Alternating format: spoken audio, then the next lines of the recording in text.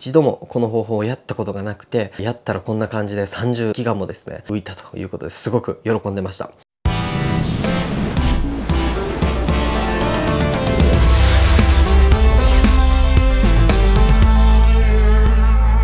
どうもこんばんは、てるです。本日の動画はプレミアプロの動画編集ソフトを使ってメディアキャッシュの削除のやり方について解説していきたいなと思います。プレミアプロを編集している中で本当に1ヶ月とか数ヶ月編集をしていくと気づいたらパソコンの容量がいっぱいになってるなってなったことはないでしょうか多分おそらくですねこのキャッシュの削除のやり方を知らない方は気づかないうちにですねパソコンの容量がいっぱいになってそしてプレミアプロの作業中にですねカクついたりとか例えば再生ボタンを押してもなんかすぐに再生されずに1秒とか2秒後に再生されるなとか例えばプレミアプロを立ち上げようとしてもちょっといつもよりもちょっと立ち上げが遅いなとかそういったことがありえます。でこれは定期的にですねこのメディアキャッシュの削除をしないとこういったことが起きるのでこれをですね今日はやり方を解説したいなと思います。で今回のそのメディアキャッシュの削除ということでメディアキャッシュというのは何なのかっていうと私たちが普段使っているこのプレミアプロの編集をするにあたってですね映像と音声っていうのをですねプレミアプロ内にポンと入れて編集すると思います。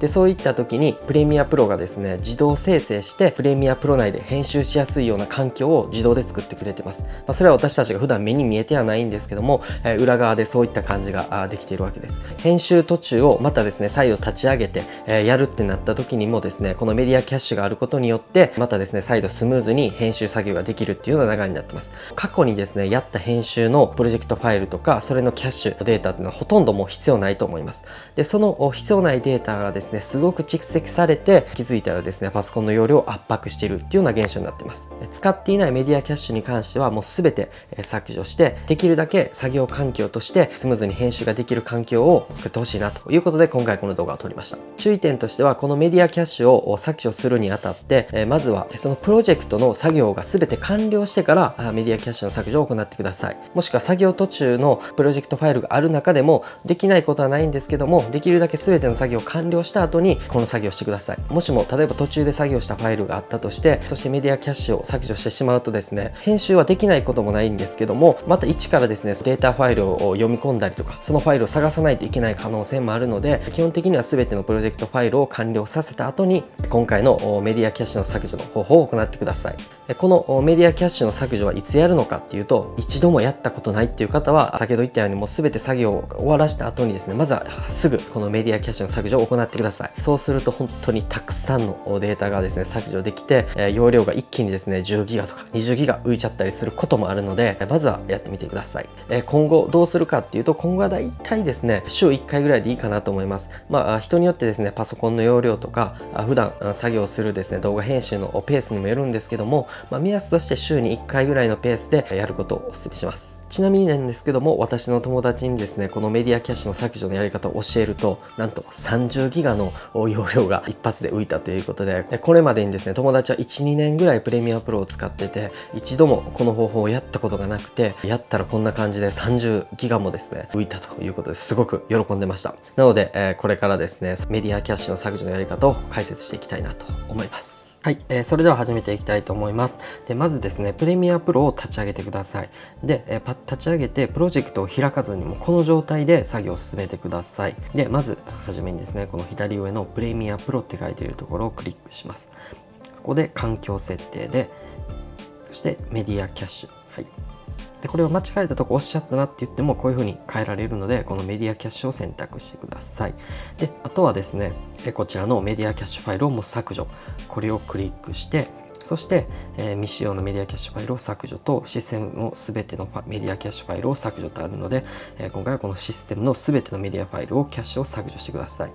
ちなみに今あ継続してですね別で、えー、編集しているプロジェクトファイルがある場合はあ未使用のメディアキャッシュファイルを削除をクリックしてください。そしてもう全部削除したいなって時はこちらを OK を押します。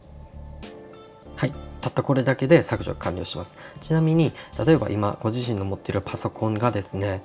ちょっと重たいなっていう時は例えば外付けのハードディスクを使ってこちらにですねクリックすると保存先を選ぶことができるのでこの両方をですね保存先をハードディスクに変えてやるとですねこのパソコンに容量が増えずに済むことができます。あとはこんな感じで日程をですね選択して90日後に自動的に削除するとか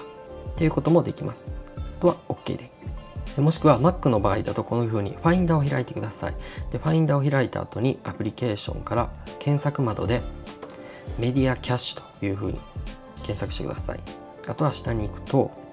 こんな感じでメディアキャッシュとメディアキャッシュファイル。これ2つがあります。じゃあこれクリックすると下にアプリケーションサポート Adobe これはコモンっていうんですかね。そしてメディアキャッシュとあるのでこの2つを削除してください。これはフォルダーごとでもいいですしこのままクリックしてあとは全選択をして削除するということもいいです。先ほどちょっと削除したので今こっちはちょっとデータがないんですけどどちらも削除したのでないですけどもこれを全部選択して削除するというふうな流れになります。これで、え以上となります。はい、いかがだったでしょうか？今回はプレミアプロの動画編集ソフトを使ってメディアキャッシュの削除のやり方について解説させていただきました。もしですねこの方法をやった後に何ギガ浮いたよとか10ギガ私は容量増えましたとかっていうような声があればですね、ぜひコメントをもらえると私もこの動画を撮った甲斐があったなと思うので、えー、ぜひコメントも残していってください。あとはこの動画がちょびっとでもなんか参考になったよと思っていただければぜひグッドボタンの方をお願いいたします。えー、まだチャンネル登録されていない方はぜひチャンネル登録も